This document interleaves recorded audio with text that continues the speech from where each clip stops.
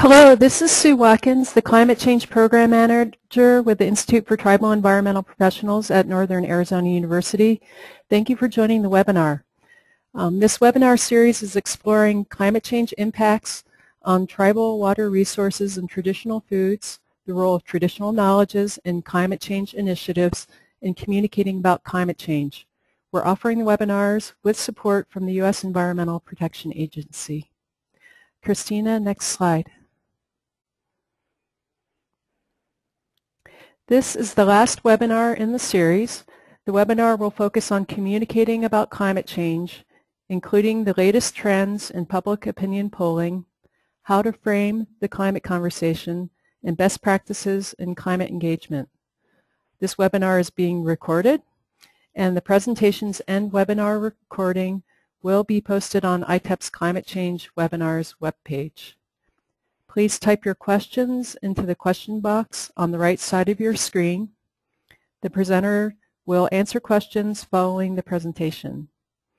Please mute your lines to reduce any distracting background noise. And following the webinar, you will receive an email requesting feedback.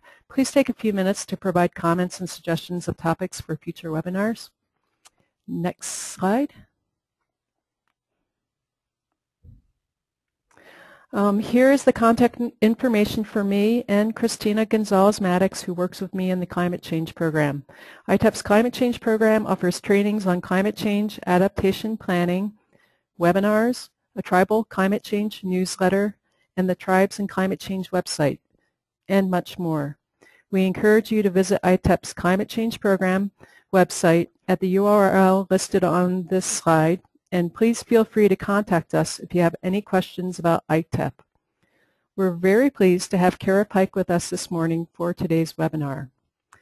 Um, and if we can switch to uh, her, that would be great. And while that's happening, I will introduce Cara. Cara Pike is the founder and director of the nonprofit Climate Access, a network for leaders engaging the public in the transformation to low carbon resilient communities, and the social climate, uh, excuse me, the Social Capital Project, an environmental communication consulting firm. Her work includes creation of the Ecological Roadmap, a values-based approach to building support for environmental protection, Climate Communications Behavior Change, a guide for practitioners, and other widely used publications and toolkits. CARA regularly advises government agencies and nonprofit organizations, including the Obama administration, the state of Oregon, British Columbia's Ministry of the Environment, the City of Seattle, World Wildlife Fund, the Union of Concerned Scientists, TIDES Canada, and others. She is currently serving on the Engagement and Communication Working Group of the Federal National Climate Assessment Development Advisory Committee and is on the boards of Resource Media and the Hollyhock Educational Foundation. Um, with that, I will turn it over to you, Cara. Um, let's do a quick sound check. Great. Thank you very much, Sue. How does that sound? Um, if you could speak a little louder, that would be good. Okay. How's that? Better. Thank you. Okay, great. Well, thank you all for joining. I was really happy to have the opportunity to share some of what we've been working on with climate communication, but also hear from all of you about what you're learning and what's working in your communities. So um, let me just jump in and uh, say a little bit more uh, about what we do, and then we'll jump into the presentation. So um, as Sue mentioned, we have the Social Capital Project which is a consulting group. We do a mix of research, training, and strategic planning. All of these tools are available on our website. Uh, you can download them. And basically, we've been involved with environmental and climate communication for about the past 20 years overall, um, but the, in particular with the Social Capital Project for the last eight. Uh, I'll be speaking from some of the research work. Uh, we do uh, a lot of uh, qualitative work ourselves, but also really think it's important to look across bodies of research, not to sort of take one poll in particular. So we look at long-term trends on, on climate engagement, where the public is at, and where there might be opportunities to leverage their support. And one of the things that we really believe strongly is that the public has a very critical role to play in, in addressing environmental and climate issues, and, and that's going to be a real big part of the leverage for how we make the transition to low-carbon resilient communities. Uh, as Sue mentioned, we also uh, run the Climate Access Network. This is a network with now 2,300 leaders from government, nonprofits, universities, who are all trying to build public support for climate policies and behavior change programs. The, uh, the network is free to join. We do screen everyone in to ensure that we're creating a high quality, safe dialogue space where people can really share best practices with one another and problem solve. So I hope you'll all consider joining. So today I want to cover some of the trends in public opinion and some of the best practices that are emerging in the field of uh, engagement on, on climate issues. Know, a lot of times uh, people think when it comes to communication that we have to just communicate about the, the challenge that people don't know enough uh, yet or don't understand. And um, I just would like to start off by, by challenging that to some extent. When it comes to long-term trends on uh, climate uh, opinion, there's actually been uh, more than half of the public at least having a basic uh, level of issue understanding for quite some time now. Now, there still are challenges with, with literacy, but for the most part, we have mega majorities of Americans saying, okay, this is happening. I, I believe it's happening. So um, is that, you know, just arguing about is it real the problem? Not necessarily. Uh, similarly, when it comes to concern, while not as high as basic issue understanding, still had basically majority concern, majority of Americans saying this is a problem that I think about and I worry about. Um, similarly, uh, seeing uh, trends where uh, impacts are already beginning and 54% saying this is this issue is underway already. Uh, so that's pretty significant that people are starting to see what's going on around them. When it comes to some of those impacts, um, a lot of times the focus is on extreme weather events. That doesn't always connect back to climate, but we'll talk about in a little bit of whether or not that's even necessary to do. But when it comes to extreme weather events, you can see that there's a, a lot of concern in particular over the things that humans really need for basic survival, over our agricultural system and the electricity system. Other things are just lower on that list. Um, so we have basic issue understanding. We have a majority of Americans showing concern. One of the key challenges is that we've really seen no movement on the degree to which this issue is a priority, looking back uh, quite some time since 2009. Uh, so this is in surveys whether people choose from a list that they're given or create their own list of, of priorities. Global warming is typically on the bottom for most people and often is even on the bottom of the list when it comes to environmental concerns. One of the things that's going on, why, why are we seeing that lack of priority? We call it the not me, not here, not now problem. That the issue still seems quite distant to most Americans. So even though we've had Superstorm Sandy and a few uh, events, extreme events in the last couple of years, um, there's still a sense that when it comes to global warming, it's an issue that will impact plants and animals first, then people in other uh, countries and developing countries, and eventually uh, me personally, but I'm, I'm at the end of that. We'll talk a little bit about why that's quite a natural response to such a large-scale problem. People are pretty uh, realistic. There's recent research done by Tony Leiserowitz out of Yale uh, showing that people who do agree that global warming is happening, um, people aren't sort of putting it off to take for others to take care of, not thinking that uh, this is an issue that God or nature will take care of, and it's not something we can also just leave to science and technology to solve it. So people are pretty realistic that this is a challenge that needs to be tackled. One of the big, big challenges, though, and this is part of why the issue is not a priority, is that most people really do not think that we're going to get ahead of this issue. Uh, it's not so much that we don't have the ability, it's more that we don't have the will.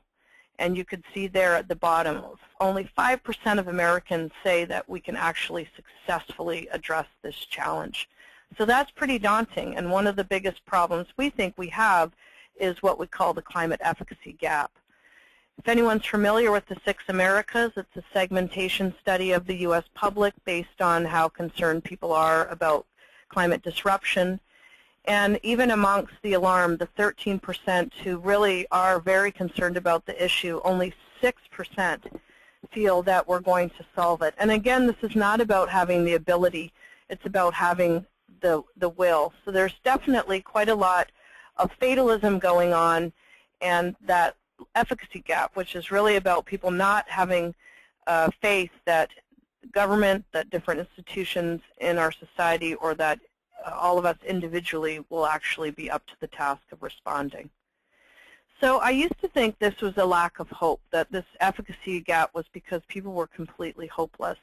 That's not actually true. People still have a lot of hope that we will rally because we care about future generations. People do think that we're all becoming more informed and that unfortunately once these extreme weather events hit and people feel it, that we will respond. So that there is hope.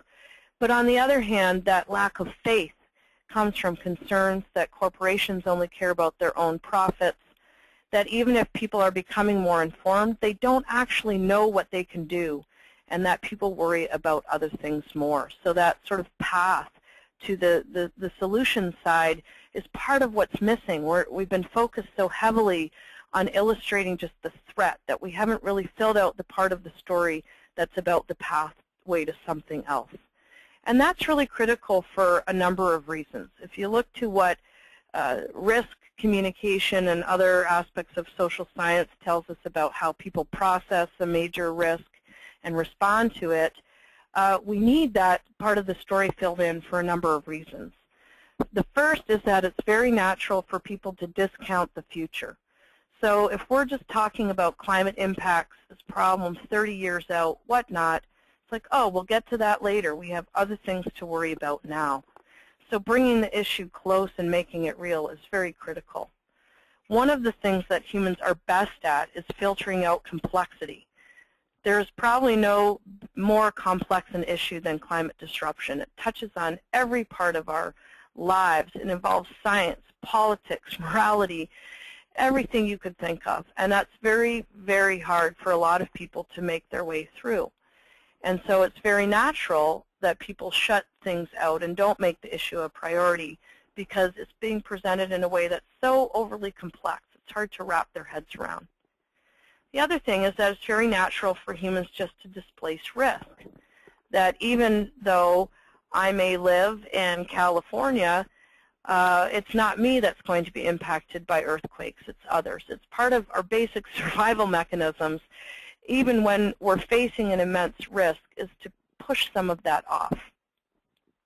When it comes to climate disruption, it involves both individual responses as well as collective responses through uh, policies and other programs. And what's tricky about that is when it comes to behavior change, what really is needed is a sense of individual risks. Individuals need to feel that they are going to personally become impacted in order to make a significant change. Policy support, however, depends on having a sense of societal risk, that there's something bigger that's going to impact all of it, us, that it warrants a collective response.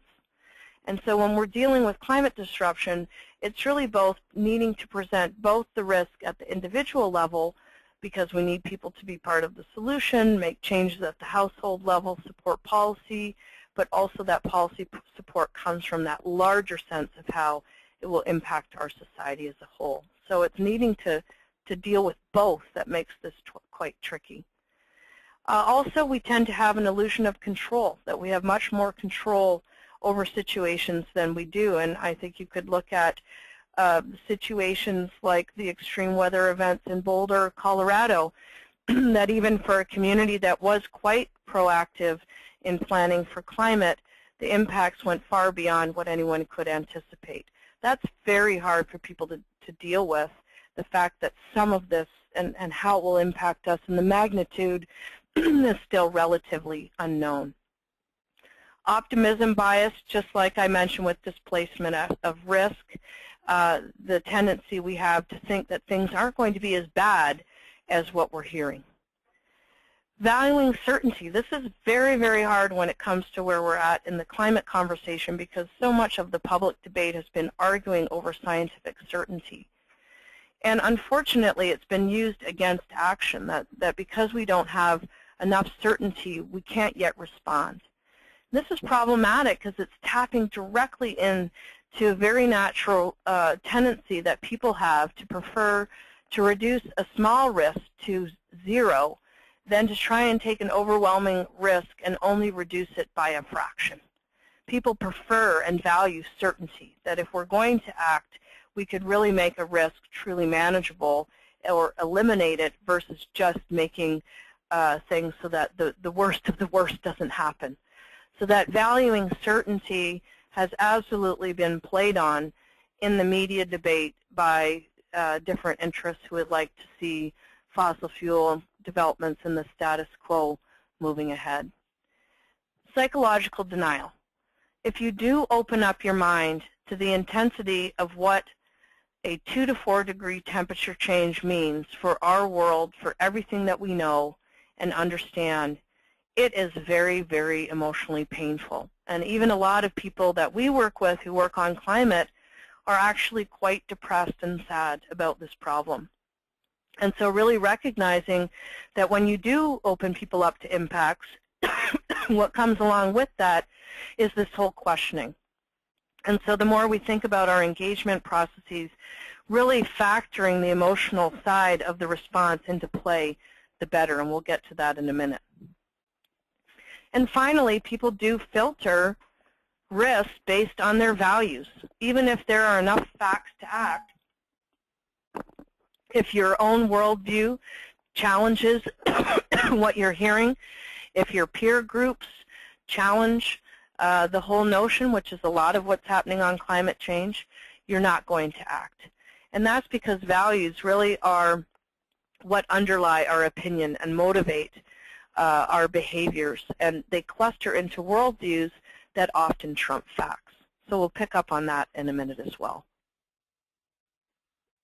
I'd just like to point out before we move into the next section that this uh, filtering based on values is such a critical piece because we often think that if we just give people the right information, they'll make very good choices. But the work of Dan Kahan and others have illustrated that when it comes to a number of issues, but climate in particular, that often those who are most opposed to action on climate have the highest level of scientific literacy. But they're filtering that information based on their values. So we can't forget that that actually does trump just uh, processing of the facts. So let me move into recommendations. What do we do given the fact that the public more or less is with us in getting this as a challenge? They're concerned, but it's a low prior priority, and we have this sense of fatalism, this efficacy gap. Well, the first is to bring impacts close to home. One of the things that our research and others has shown is that using a preparation frame is really advantageous. So this is really deliberately choosing not to respond to the scientific debate, to the manufactured debate around scientific uncertainty by arguing the science is in. We actually can avoid that trap altogether and start by focusing on the changes that people are seeing around them. People are noticing the extreme weather events. People are noticing that there are changes in the growing seasons. People are paying attention to the fact that there are extreme events happening all over the world. So we can start there and start with what people care about in their own community and build from there. The term preparedness is actually very important. We've tested uh, adaptation, we've tested uh, mitigation, uh, but talking about preparing for these changes in weather patterns, these preparing for these extreme weather events that are coming more frequently and more, more intensely actually works a lot better. It's a term that people can understand. It is an active term. It taps into the idea, going back to Boy Scouts, Girl Scouts, just that it's prudent to be prepared. And it's actually the very notion that insurance is sold on, is that you don't wait for 100% certainty, that if enough signals are in place that there are risks, that it's prudent to start to prepare for those. Just like if there's a 60 to 70% chance of rain, not a bad idea to put your rain jacket in or your umbrella versus just ignoring it. So it's really an active mode. It starts with what is the problem? and really articulating that the problem is about the impacts that we're seeing now are only going to get worse if we don't start to address climate disruption. Being clear that the stakes are not percentage increases in sea level rise or whatnot, but that the stakes really need to be grounded in the economic, community, and individual well-being factors that are at stake. We have to make this a timely thing, that this is not off into the future, that this is a why now moment, that waiting to act will only make the task more difficult and costly. And that idea that it's only going to get harder the longer we wait really does resonate well with the public. We have to ground it into why me? Why should I care about this? Which is what people are always asking when you raise such a huge topic. How will this impact me? And we have to connect that to people's identities. If they're working on the land, if they're um, a, a fisher, if they're a farmer, if they are working in health, if they're raising a family, to connect it to what people care about. How will it impact their lives, not a generic impact. Um, what are the solutions? We can't leave out the solutions. As I said, if we're going to turn up the dial on the impacts and threat, we need to start to pave that pathway forward. So what are the solutions? And the solutions need to be on scale with the level of the threat. So just changing a light bulb is not enough. We have to talk about doing big things in our communities to respond to these trends. When we start with impacts and how to respond to them, we localize them, we connect them to people's identities, we make it clear what is at stake for people there is an opportunity to bring in mitigation as, so reducing carbon, as an effective way to prepare for and reduce risks. So mitigation becomes one of the best preparation strategies out there because people do become aware, and we'll talk about this in a minute when we get into the engagement steps, people do become aware that this isn't a problem we can just sort of build seawalls or increase our, you know, the height of our roads, that it's actually going to take not just responding to, but actually addressing the root. In this preparation frame, it's very, very critical to connect the dots across issues because most people don't make those connections themselves. They see something's going on with the weather. They're hearing about climate change. They're concerned about trends in their communities, but they don't necessarily tie it all together into a cohesive picture. And when we're communicating about climate, that's our job. Most people aren't immersed in this. This is not about dumbing things down at all. This is about recognizing that people have a lot of other things on their mind and that we often make the jumps from climate change, burning of fossil fuels, what you could do about it without really illustrating how these things fit together. And to really make the trends uh, as relevant to people's lives as possible. When we're talking about impacts, because of how intense the impacts are, it's very easy to go to the apocalyptic on that. And yet that is a big turnoff for most people. Fear is one of the most demobilizing emotions we can tap. So we have to be careful that even when we're illustrating what the impacts are, we're doing it in a way that isn't completely overwhelming. Because people tend to discount the future, we can't push all the impact conversations off into the future, even though from a planning standpoint, that's often what we're working towards because a lot of the impacts are more severe 20 to 30, et cetera, years out. But people want to know what's happening now. What is it I need to respond to now? So really needing to localize those impacts, making them relevant, and bringing in the hope. So we need the solutions, but we can't promise utopia. This is going to be a hard issue to work our way through. And the, even with benefits, there will be hardships all the way along. So we have to be not overblow the solution side either and make it very realistic that these are steps that are important to take now that will benefit our communities in a number of ways. So we've talked a lot about making it a values conversation, how people filter based on values, their worldviews, their peer groups. There are a number of different values that are in play that block engagement on climate and environmental issues.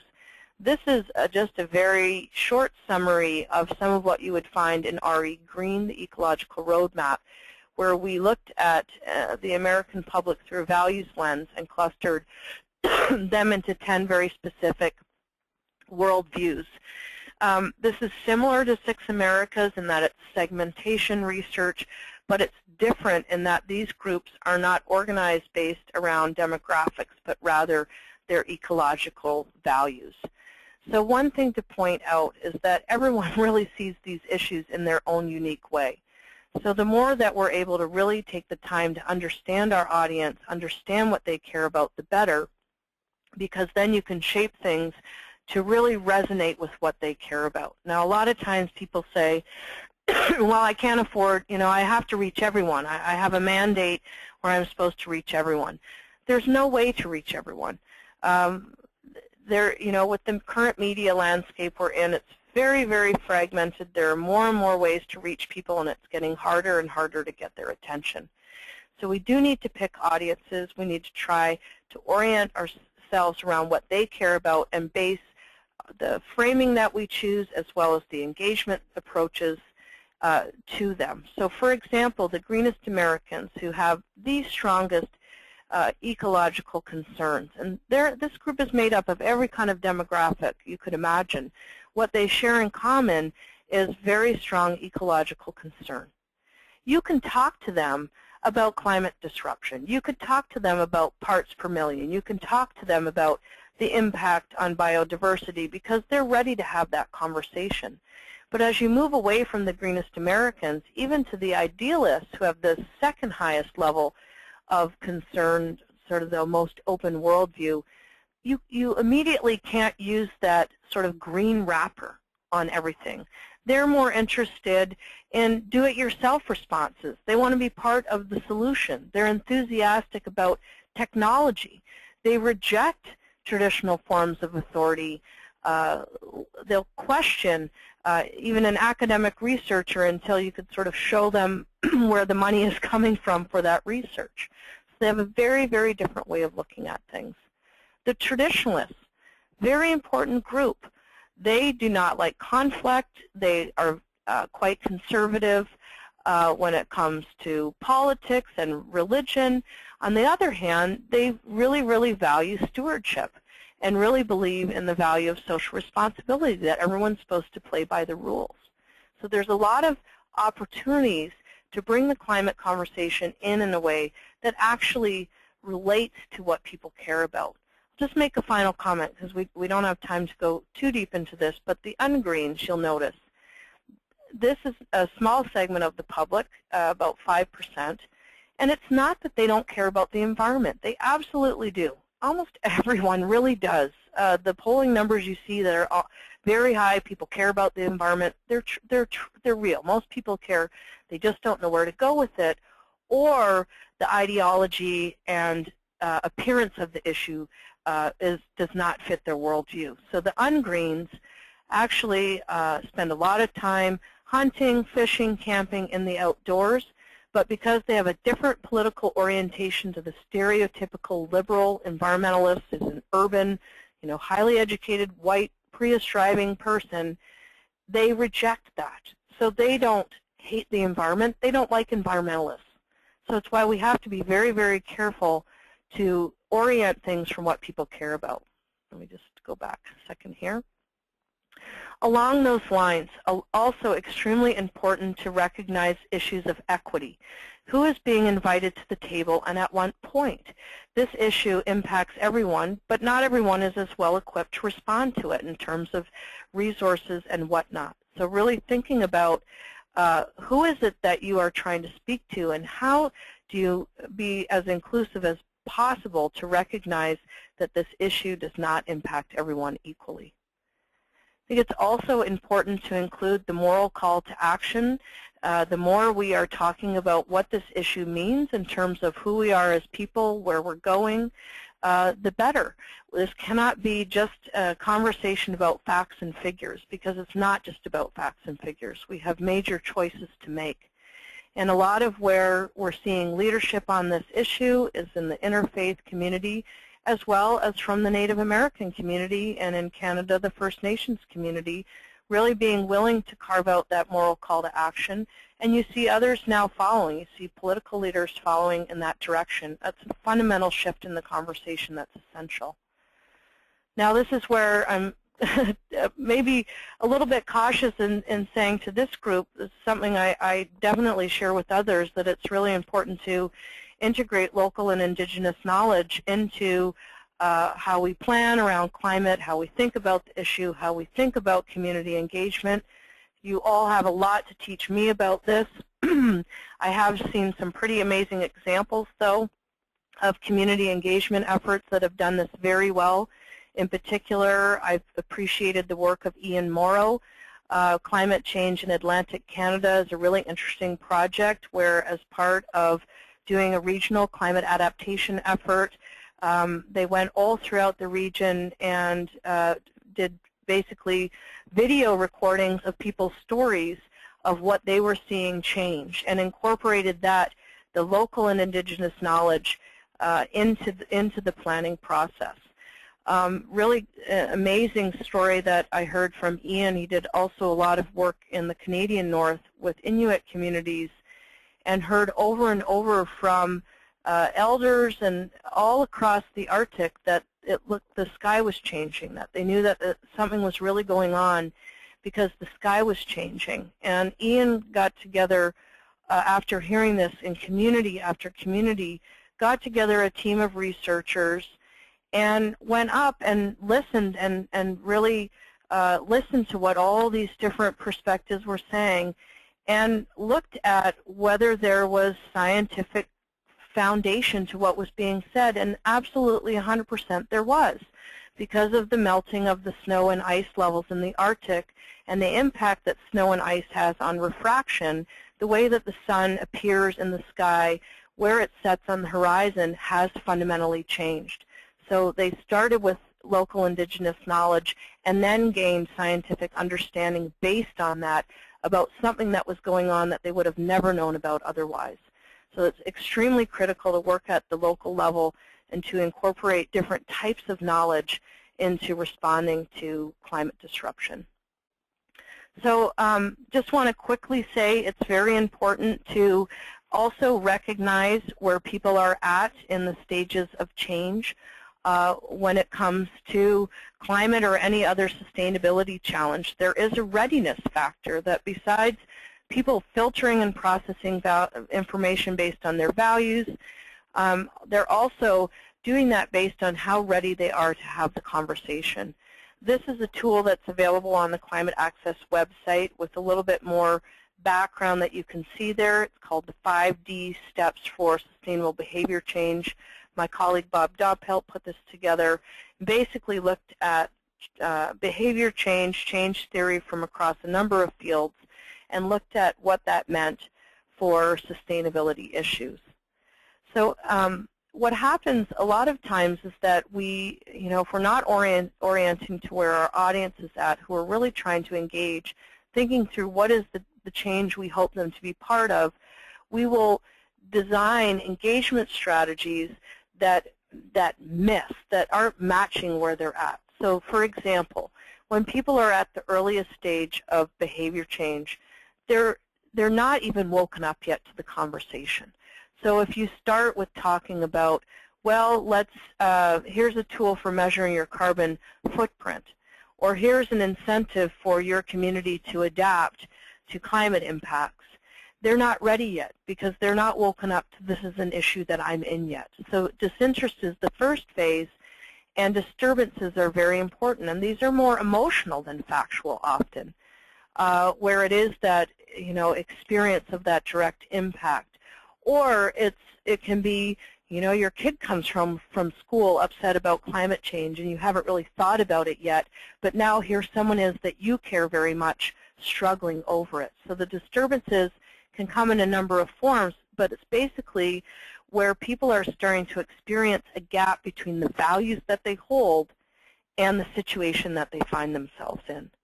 Information has a role to play, awareness building is in there, but it typically fo follows that kind of first waking up. As I said earlier, though, if you wake people up, if you sort of increase the sense of threat and don't give people a sense of choice, then people shut down. It's that checking out and that fatalism that we're stuck in right now. So what are the options? What are the solutions? Those absolutely need to be brought into the conversation. A lot of times, though, rather than broadcasting things out just through press release and whatnot, we'll get into this in a minute, we really need to think about deeper engagement processes that allow for that emotional support, peer-to-peer -peer support, and for that uh, including concerns around equity and incorporating local and indigenous knowledge into the process. So we have to think about moving from you know, talking at people to engaging with people in dialogue through peer-based mechanisms to help bring them along through the change mechanisms. Once people uh, are woken up, they start to deliberate. That's why they need those choices. They need to know what their options are. When they get into designing, though, that's when they're deciding to, to act. That's when people are getting into developing that adaptation strategy um, for their tribal lands. Or they're starting to look at the cost of what it would be to put solar uh, on buildings. The doing is when you've decided what your plan is and you're starting to actually act in those steps. And that's when we really need to hear from other people who have been on the journey already. What have you done? What, what works? And often those uh, processes are kicked off by a commitment, a public commitment or a commitment to a group of peers, others that, uh, that you care about in order to make that desire for change stick. And I'll, I'll mention a few of these examples in a minute. When people are into the doing, that's when they need the reinforcements, the, uh, the substitutions. That's when they need the incentives for putting that solar on the roof. That's when they need the um, alternative ways of planning if water issues are a concern. The good news is that when people move along the stages of behavior change, it can be quite reinforcing. And by the time you get to doing, usually you've had enough positive outcomes, enough benefits coming, that you keep going and you become a champion, which is the defense stage. When you start to not just do the changes in your own community, organization, households, life, but you start to be willing to share with others what were the steps that you went through? How did you get to where you are now? as someone fully active on this issue. So let me just give some examples of change mechanisms that can be used along these different stages of change. So this is for engagement practices. So from disinterest, as I mentioned, leveraging those extreme weather events is really, really critical, but making sure the dots are being connected to climate. Um, that still isn't necessarily being done in the public conversation. Um, and, you know, depending on your audience, it, it can't be done right away. If your audience doesn't want to talk about climate change, but they're willing to talk about water supply and availability, you start there. And you build over time to a conversation about the underlying driver of climate disruption. To uh, ensure that when you're thinking about leveraging those weather events as conversation starters, uh, that people be included as well, that the impacts are not just to the natural systems, to our infrastructure, but that we really need to express our concern for people struggling through those moments. It's also really critical, though, to mention that it's not just the big storm events where there is so much suffering around that provide um, teachable moments, because obviously that is a bit dicey to do that well it is things like the changes in the growing seasons, noticing not getting as much rain as normal. Uh, some of those uh, more subtle but per pervasive impacts people are also noting as well. So for example, I was just in Montana facilitating a dialogue session with agricultural leaders who didn't really want to talk about climate change, but they did want to talk about water supply and availability and what was going on and were some of what they were seeing in their own fields something they need to be concerned about moving forward. Also, uh, very important at the, um, sorry about that, those early stages, that sometimes it's not just the, the facts, that it's the experiences. So the extreme weather events are an experience, a conversation opening, but there are other ways to bring that along. Uh, oftentimes, art and culture is a very, are very good tools to use at early stages of behavior change. So what you're seeing here now is an example of a very interesting experiential education campaign that was used to make uh, people aware of the impacts of sea level rise in Vancouver, British Columbia. So what you're seeing there is basically uh, wrappers around the bottom of uh, telephone poles that have actual sea life glued onto them, mussels and, and starfish and, and algae illustrating where sea level rise will be if climate disruption goes unchecked. And the sign at the top says global warming. It's closer than you think. And there was a, a, a website people could go to to find out more. But what, what, was really effective about this is it wasn't just talking at people. It, it put an experience in a disruptive place in the middle of people's everyday lives where they're not expecting to have this experience. And because it was so interesting and non-confrontational, you could see people came up to it. They touched it. They wanted to know what what is this and, and what is going on. So sometimes it, it is arts and culture. It's using experience experiences in order to make the impacts very real.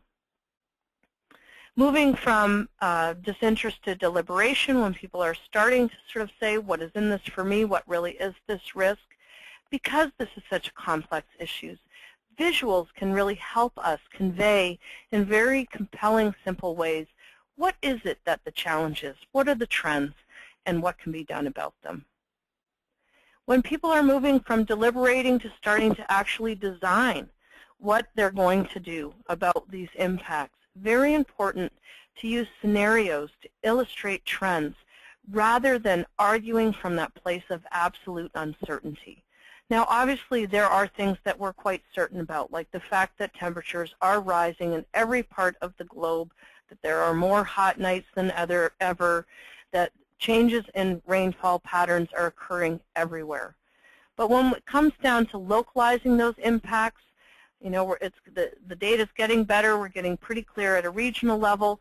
Getting down to that real local level where a lot of decisions actually made is still pretty tough.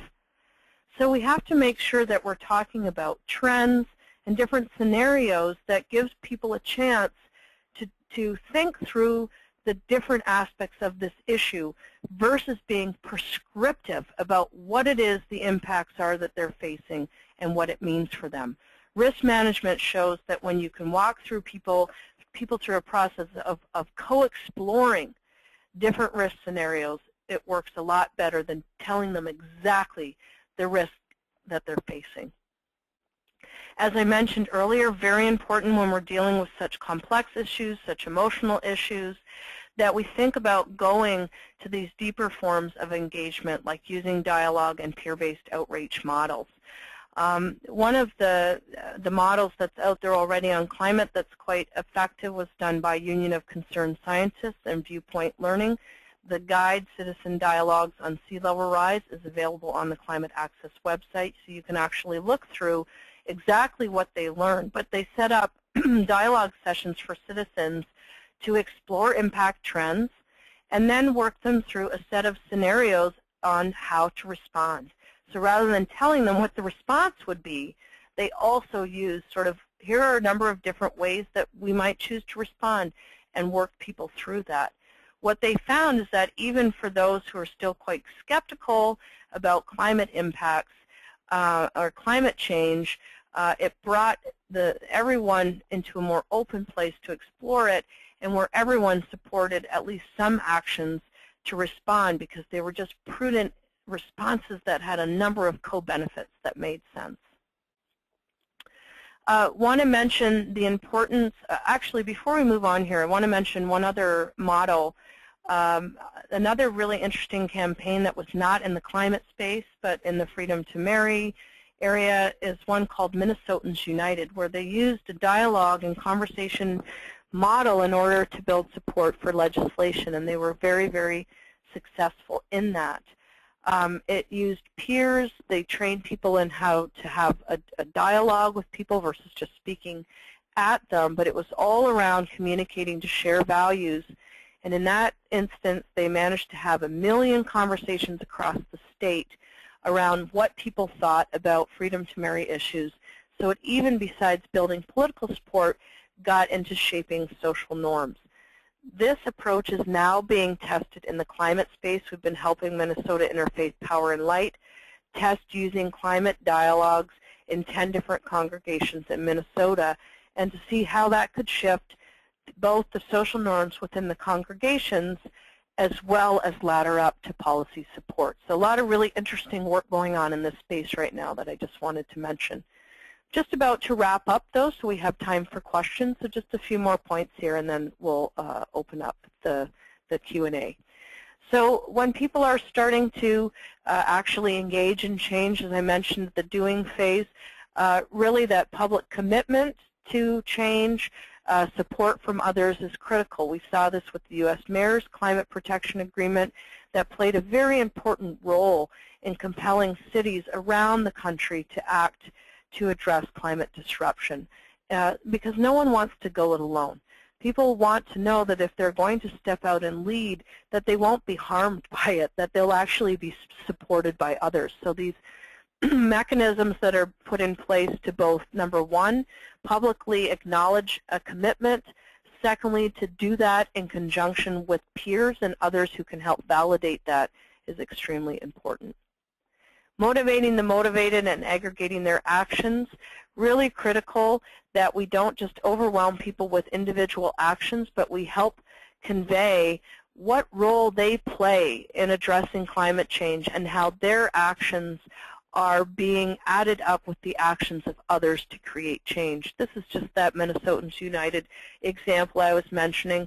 Besides using conversation and dialogue very well, they had a very sophisticated uh, tra database tracking system where they tracked every single conversation and they rewarded and, and reported back on the efforts of all of their different volunteers in getting the outcome uh, that they wanted on that. Another very important example of the sort of going from doing to defending where people need information from peers in order to know what to do.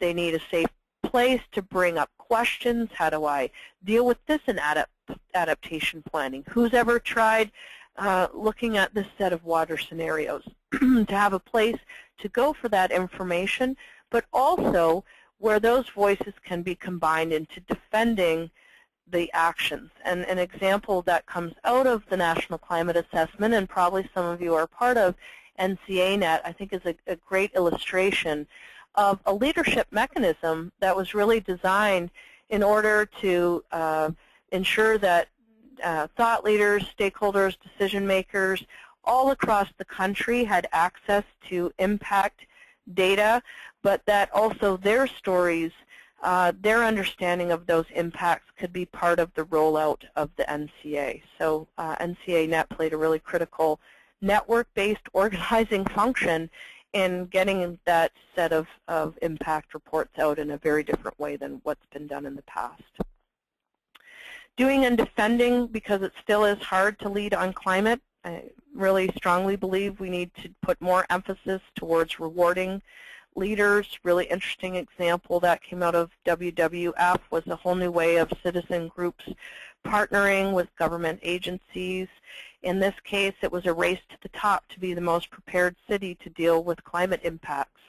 And rather than sort of punishing and, and, and uh, constantly critiquing these leaders, what WWF did was to leverage their base of Earth Hour City participants to encourage and champion the leaders that were willing to race to the top to be the most prepared to deal with impacts. So really interesting model of how you can really start with a preparation frame, have a race to the top that you will be a winner if you act on climate, and to motivate citizen groups to stand with leaders to encourage that. So with that, I'll pause. This is the way to, to get a hold of me. And, and uh, again, I hope everyone will consider joining Climate Access, but now uh, pause to make sure we have time for questions.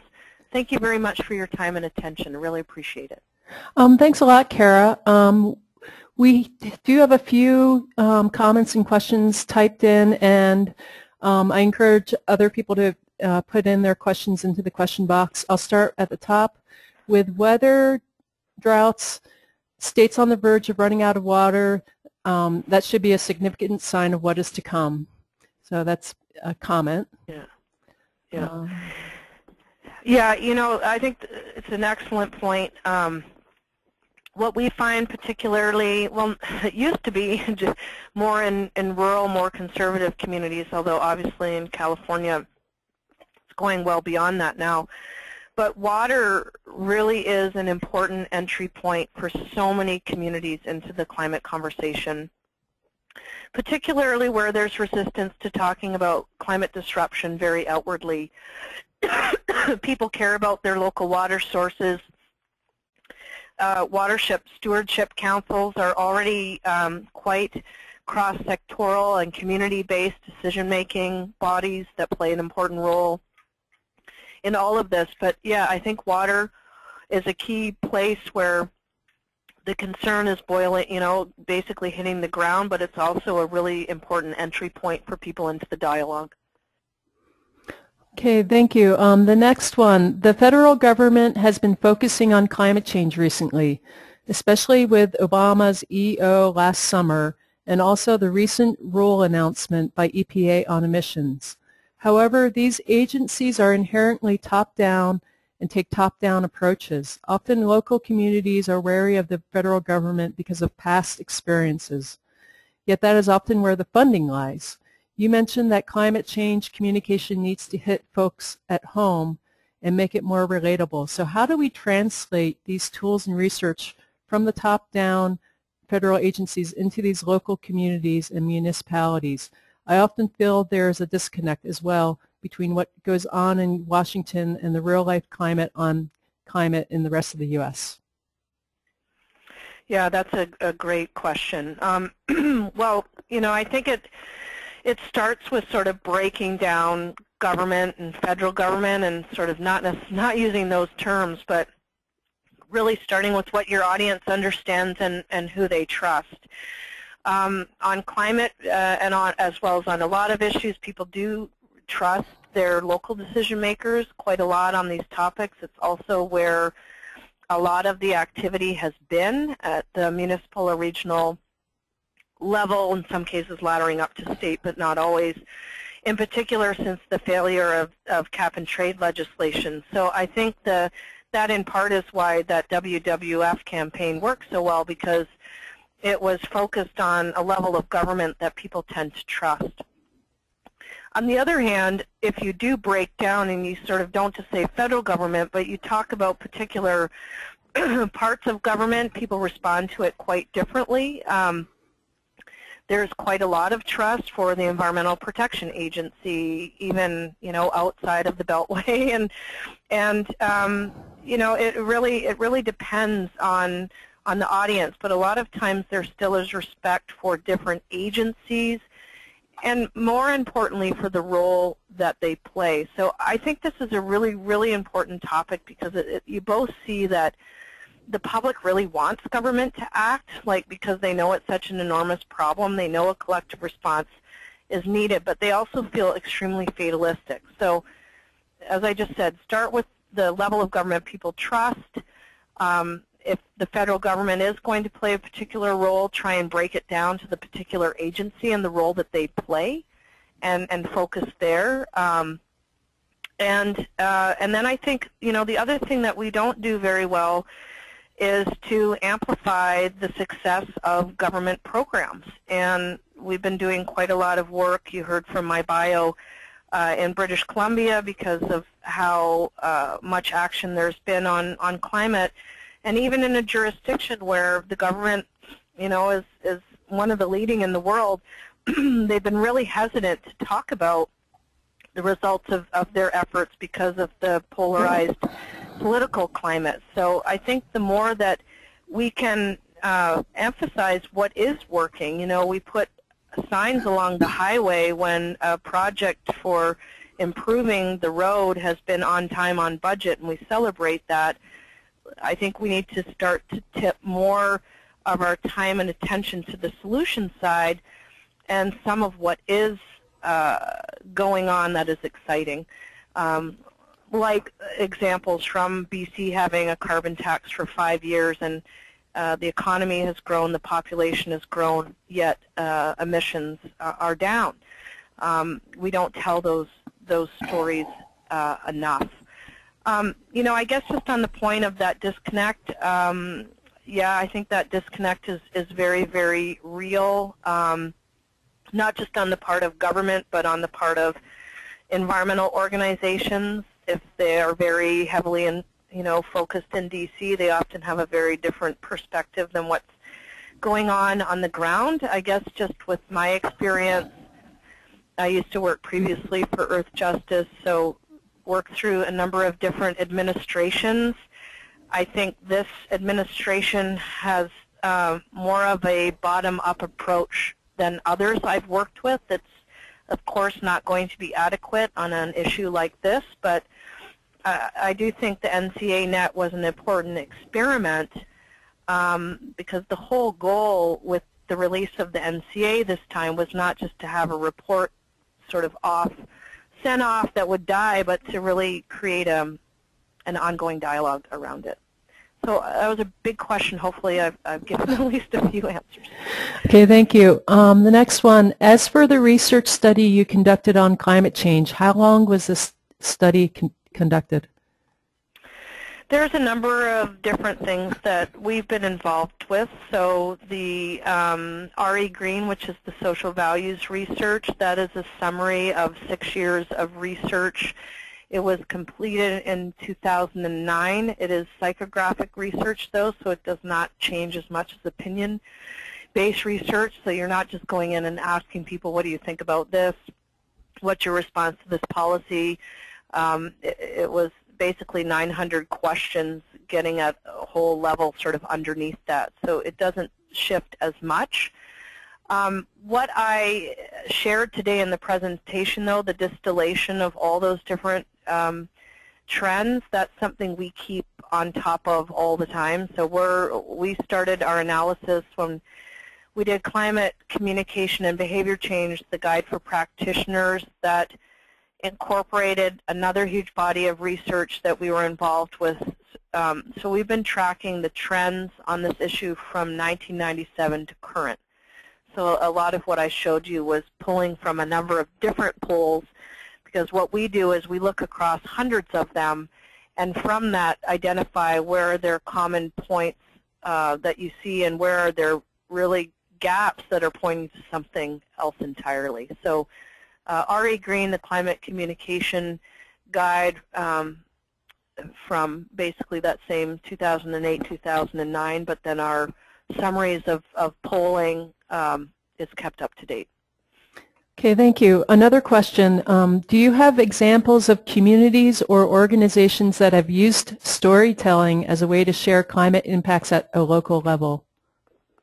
Yeah, that that really is starting to be a very positive trend. I think that Atlantic Canada, if you just Google uh, climate change Atlantic Canada, you'll see that whole site that was put together, and it was a really interesting model because basically there's like three different provinces that had worked together to um, do a bunch of climate impact research. So they had really figured out for their region what was going on with the impacts, and they were starting to move into the adaptation planning process. And they were trying to think about, well, so we've got all this data, but how do we actually involve people in this, and how do we get people to the table, et cetera? So rather than re releasing, I mean, the reports were all there on the website, but rather than doing that, that was that uh, example I gave earlier where they brought in Ian Mauro, who's a geographer and also a filmmaker, and they went and they interviewed hundreds of people across the region and, and videotaped their stories. From that, all of those stories were actually included in back into the adaptation planning process as well as used to communicate the story of climate impact trends in that region. So I, I think that's probably one of one of the best examples. Um, if you look look at the NCA though, there's another set of videos that were quite good that were developed, I believe, by a group called the Story Project, and they captured um, uh, uh, stories on impacts from a number of different communities. Um, you know, there's just more and more going on in this area all the time. So if people keep checking back in with climate access, we'll have more of it. We just heard of a massive process in Boston that the city is running that has a huge front-end stakeholder engagement effort. They had their kickoff meeting just a few weeks ago, and they had booked a conference facility for 500 people, and they had to turn people away. And their whole uh, orientation, as I understand it, was to start kick off the planning process with this public forum where they laid out scenarios, but then opened up and heard from the community about their own experience with impacts. I'll just say one other example that's quite good. It wasn't adaptation per se, but it's also on our website. There was a really great uh, community climate action toolkit out for the city of Chicago that was done by Dr. Jenny Hirsch, who used to be with the Chicago Field Museum.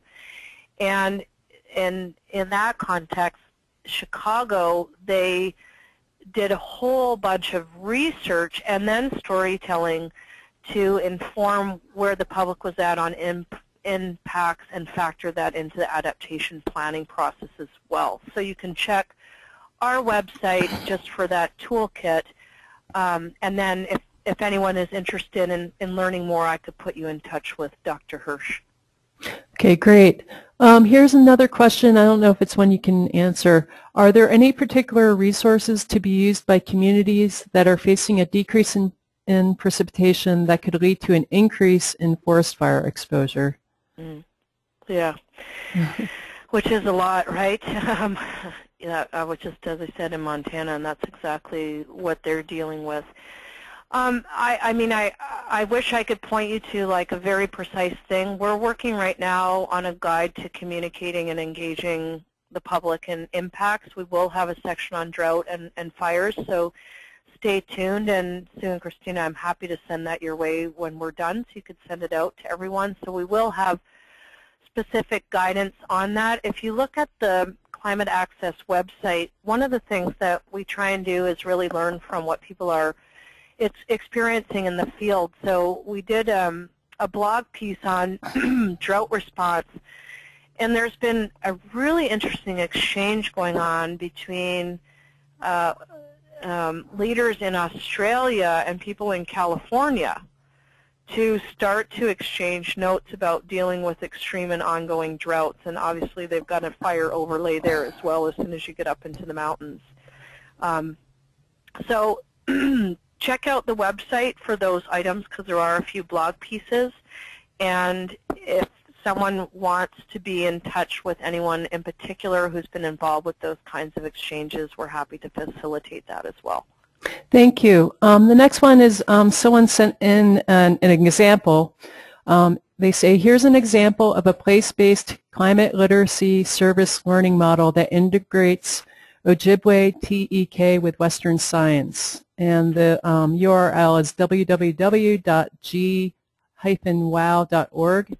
Click on the Teachers Corner tab to get an overview of the GWOW model's outreach strategy and how it can it be applied to other cultures and locations. So um, thank you to the person who sent that in.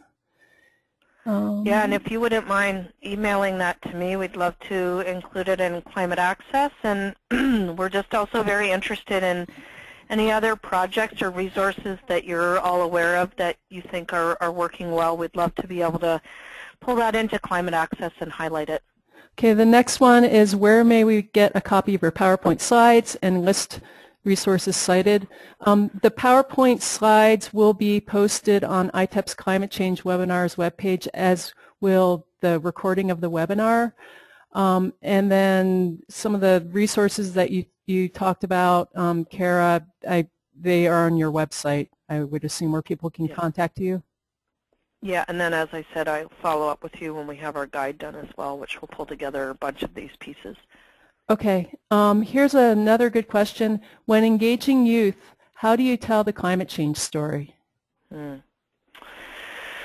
Yeah, it's a really good question. So I think one of the things that is really important is is that younger Americans are more accepting of the science and um, they a lot just get it, you know, and, and I think it's where some of the really uh, the lessons to be learned around sort of the emotional side of things and making sure that you're not just communicating from a place of despair, but you're actually offering that uh, offering that pathway forward is so much more critical for young people. Um, and I think about it like this. I think like a lot of the traditional environmental movement narrative has been, you know, we used to have a life that was in balance with nature, and human beings came along and messed it up. Now, I'm not saying this is the Native American story at all. Okay, this is more the, you know, the the the envir traditional environmental movement story.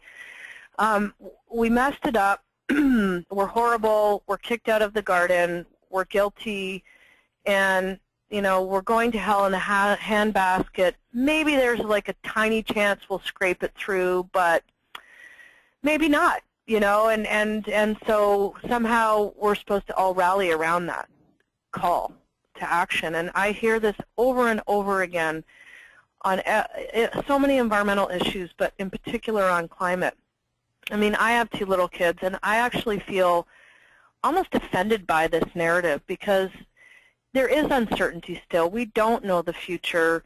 We have to be thinking about the kids and how they feel about this and feeling empowered. And I, I don't think it is right to tell anyone they have no future. So I think that's kind of number one is, you know, what is the possible future that, you know, we can help young people tell that story, see that story, help them see some of what we might see, but not tell it all for them. But I, I think just making sure that the communications isn't apocalyptic and that we're we're not repeating to them, there's no hope, there's no, you have no future. The other thing is that, you know, when it goes for the values that people need in order to care about the environment or these issues, there's no set cluster. A lot of people care about these issues and come at it from very different worldviews, as I said earlier. What you can see, though, is what's missing if people aren't engaged, and it's two critical things.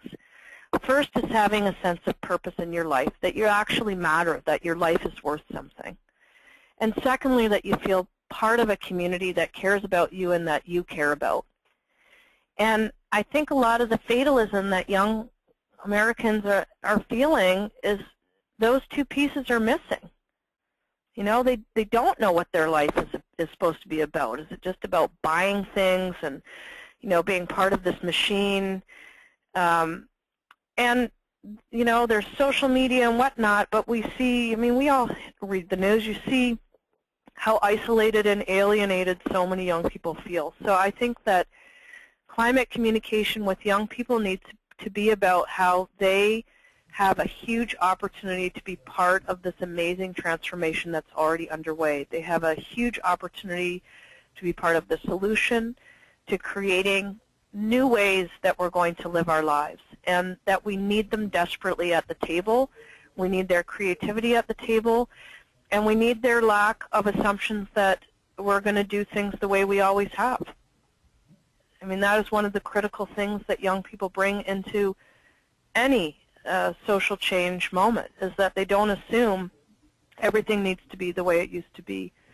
So I think there are some good examples out there of really, you know, like talking to kids about their opportunity and, and their future and the very that, that they're needed at the table, that their life has a huge purpose, and that there's a place for them to come and plug in. And we have to make then those engagement opportunities real, you know, to really include young people in social innovation problem solving. Um, so just a few thoughts. Obviously, you can tell I feel quite passionately about that and, and that we really have to stop telling kids they have no future. Okay, great. Um, next question, a quick one. How do we sign up to Climate Access? Great. Well, if you just go on the Climate Access website, um, and there's a tab called Member Forums, and you click on that, and there'll be a short form to fill out.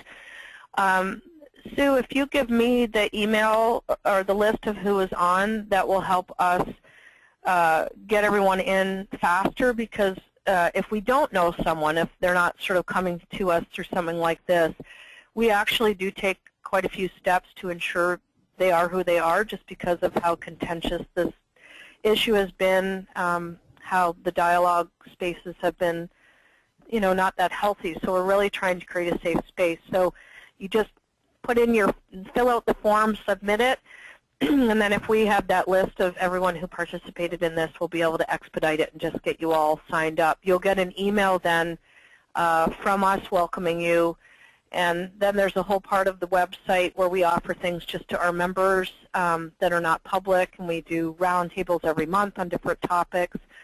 we do in-person trainings that we invite people to, things like that. So thank you for asking that question. I really hope people will come and be part of the network.